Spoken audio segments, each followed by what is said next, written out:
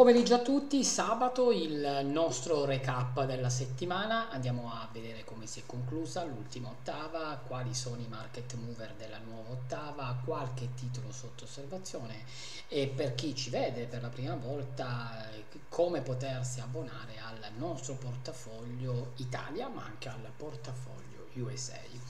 E detto questo, cosa dire? Che è stata una settimana all'insegna della debolezza per quanto riguarda i principali mercati azionari globali che hanno chiuso la settimana in ribasso, fa peggio l'Europa perché Wall Street perde tra l'1,3 l'1,6 tra S&P 500 e Nasdaq e Piazza Affari perde oltre il 2,3%, il DAX oltre il 3%, una settimana che è stata scandita e dalle paure, dai timori rinnovati di banche centrali aggressive. È stato lo stesso Powell dinanzi prima alla Camera americana e poi al Senato a dire che la nell'ultima riunione il nulla di fatto deve essere visto come una pausa da parte della Federal Reserve in tema di rialzo dei tassi di interesse perché ehm, la Federal Reserve per combattere l'inflazione metterà in campo altri due rialzi dei tassi di interesse. Credo che sia difficile andare a fare e questo dalla parte opposta abbiamo anche la BCE che invece ha ehm, confermato che anche nei prossimi mesi ci saranno ulteriori rialzi dei tassi di interesse e poi abbiamo visto come l'inflazione che tende a non arrestare la sua marcia, soprattutto nel Regno Unito, ha portato la Banca d'Inghilterra ad alzare i tassi dello 0,5%, ma anche altre banche hanno alzato il costo del denaro appunto in scia un'inflazione che rimane alta. Dicevamo il nostro indice principale perde intorno al 2,2-2,3%, 27.210 punti. A proposito, la settimana è stata scandita comunque da volumi non forti perché venerdì abbiamo chiuso con 1 miliardo e 992 milioni gran parte della settimana tra il miliardo e 7 e i 2 miliardi quindi volumi non elevati che ci portano a eh, vedere questa mh, fase di debolezza queste vendite come un'occasione per poter appunto entrare in acquisto soprattutto se il nostro indice terrà la soglia dei 27.000 punti. Ricordiamoci che l'America ed ecco i motivi per cui l'America ha trovato nelle parole di Powell l'occasione per andare a fare presi di beneficio veniva da un Nasdaq che mm, veniva da 8 settimane consecutive al rialzo, 13 nelle ultime 14, un S&P 500 4 nelle ultime 4, quindi mercati abbastanza tirati che hanno trovato appunto le parole di Powell l'occasione giusta per porre fine al rally. Noi andremo a vedere tra poco poi il mercato americano, quindi importante per Piazza Affari la tenuta di 27.000 punti per poter poi andare a mettere sotto pressione nuovamente i 27.500 e a seguire i top degli ultimi 17 mesi 28.000 punti. Ricordiamoci che sopra 28.000 punti a quel punto una volta superati perché sarebbe quasi un triplo massimo si avrebbe il test di 28.002 e a proseguire poi si, si, si aprirebbero le porte fin verso la soglia dei 30.000 attenzione invece al ribasso ai 27.000 punti perché abbiamo la trend line rialzista che parte dai minimi di dicembre, il livello del super trend, la trend line ribassista che parte dai top toccati nell'aprile di quest'anno, sotto i quali abbiamo un primo target, il, la ricopertura del gap up sotto aperto il 2 di giugno, area 26.580 punti, andiamo subito a vederlo ancora meglio andremo a chiudere questo piccolo gap. A posto aperto di giugno e poi l'area dei 26.300 26.250 punti. Quindi importante la tenuta dei 27.000 punti. Mentre per quanto riguarda il mercato americano e andiamo a vederlo il mercato americano dicevamo corregge e dopo una serie importante di eh, rialzi corregge meno degli indici europei e anche perché ricordiamocelo durante le ultime settimane gli hedge fund, le mani forti hanno chiuso le loro posizioni short e, e quindi questo sicuramente può essere foriero di nuova, di una nuova ripresa per quanto riguarda il trend rialzista. L'S&P 500 chiude in area 4350, ricordiamoci questo OPS eh, ribassista che è stato disegnato venerdì della scorsa settimana che ha anticipato appunto questa fase correttiva, lunedì i mercati erano chiusi e mh, dicete fin verso la 4003-4002 non cambierebbe il trend primario, così come il Nasdaq 100 che rimane sempre vicino ai top di periodo e anche il Nasdaq 100 discese fin verso 14.500 in prima e 14.000 a seguire non cambierebbero anche in questo caso il trend primario perché io l'ho detto mi sono esposto più volte credo che l'indice americano tecnologico abbia le possibilità anche di andare verso 16.000 punti a quel punto mettere sotto pressione i propri massimi di sempre. Ricordiamoci che però lunedì dobbiamo stare molto attenti. Dobbiamo capire come il mercato eh, accoglierà quello che sta succedendo in Russia. Abbiamo visto una sorta di colpo di Stato da parte della brigata Wagner, non si sa quello che sta succedendo, quindi a eh, sabato pomeriggio alle ore 18.21 non si sa quello che sta succedendo, c'è questa avanzata della brigata Wagner verso Mosca dove aveva conquistato un'importante città strategica come Rostov e che è la città che dà poi il via ai combattimenti, rifornimenti delle truppe russe verso l'Ucraina. E ricordiamoci che questi sono dei mercenari e quindi bisogna anche capire quello che sta succedendo e quindi capire come il mercato accoglierà anche perché poi ci sarà sicuramente l'impatto anche con, per quanto riguarda la guerra in Ucraina e quindi importante andare a capire come il mercato accoglie e quello che succederà nelle prossime ore. Per quanto riguarda il calendario economico della settimana, tra i market mover andiamo a segnalare sicuramente l'inflazione che arriverà dai paesi mh, europei come Italia, Germania, Spagna. Lunedì abbiamo l'indice IFO tedesco, quindi sicuramente un dato importante, quello che arriverà dall'economia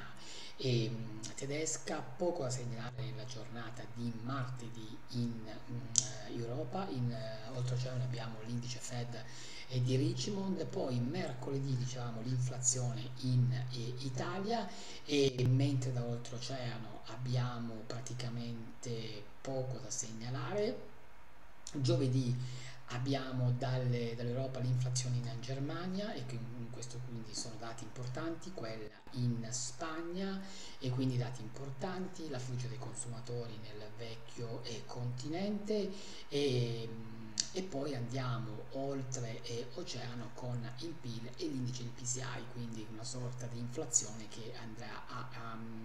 a testare poi il polso dei mercati azionari. E chiuderemo la giornata di venerdì con l'indice PMI manifatturiero e non manifatturiero cinese importante per capire la situazione economica della seconda economia globale e mentre d'oltreoceano si, chiuderà poi c'è l'inflazione europea quindi la, quella totale, quella globale in arrivo alle ore 11 importante poi l'indice Fed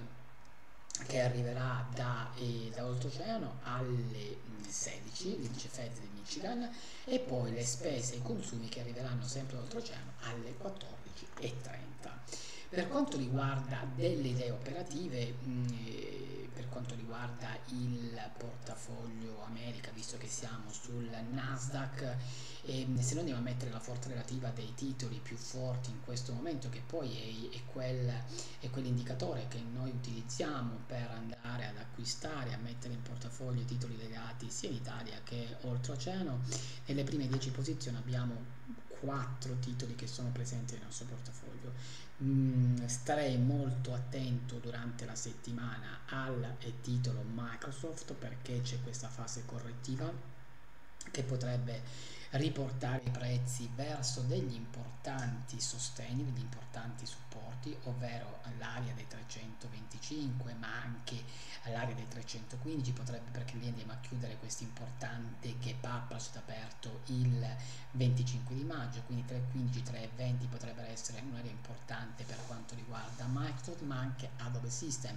noi l'abbiamo cercato di acquistare durante le scorse settimane, non ci siamo riusciti e ora cerchiamo di, di vedere se la fase correttiva del Nasdaq porta anche qui il titolo a chiudere questo gap up, è aperto il 9 di giugno esattamente in area 440 mm, dollari. Naturalmente abbiamo in portafoglio e Tesla da livelli molto più bassi, da 170 al momento il titolo viaggia sul 256, quindi un'importante mm, operazione sul titolo, sul titolo eh, Tesla come il titolo AMD come Netflix, quindi da titoli che in questo momento stanno dando veramente le, delle soddisfazioni importanti per quanto riguarda il portafoglio USA. Per quanto riguarda invece il mercato italiano, qualche titolo possiamo sicuramente segnalarlo tra blue chip e mid cap. Andiamo subito a aspettare che il, mm, il grafico si apre. Nel frattempo ricordo sempre che c'è la possibilità di, mm, di potersi abbonare al portafoglio Italia e al portafoglio USA e quindi mm, riuscire anche a replicare la nostra operatività di medio lungo periodo che mettiamo in campo sul, sui due mercati andando appunto sul sito di investire.biz, in pochi istanti che si apre e nella sezione appunto servizi trovate appunto il servizio dedicato al portafoglio Italia e al portafoglio America. Ricordo che trovate anche tutto all'interno della descrizione di questo video, trovate tutte le, le, le informazioni per poter appunto poi abbonarvi. Eccoci qui. pochi istanti che si apre il, la pagina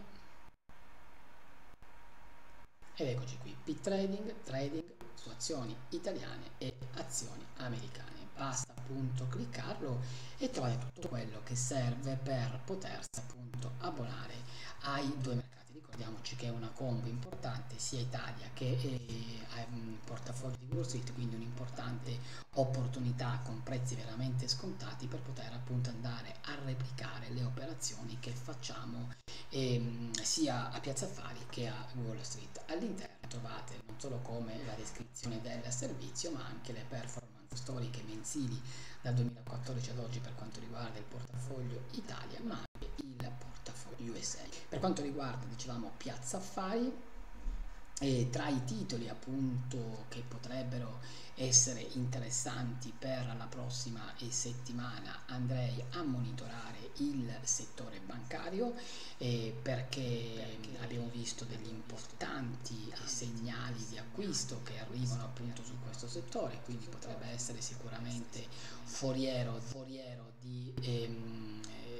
nuovi, nuovi, nuovi allunghi per quanto riguarda gran parte di questi titoli. Andiamo subito a rimettere il grafico.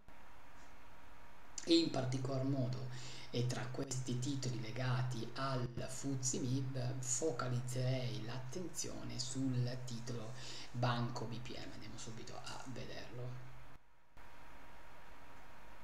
come forza relativa è nelle prime posizioni clicchiamo il grafico e vediamo appunto un trend chiaramente rialzista sul titolo che nel caso di rottura di area 4,10 4,12 porterebbe velocemente il titolo verso area 4,25 a seguire i top del 2023 l'area dei 4,35 4,40 eventuali correzioni fin verso l'area 3,75 3,80 dove abbiamo il livello del super trend rappresenterebbero in questo caso occasioni long.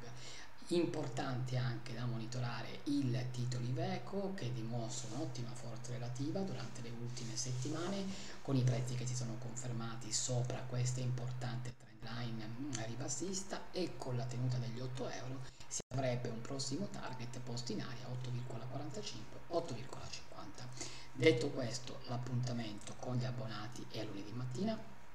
con la mail di apertura.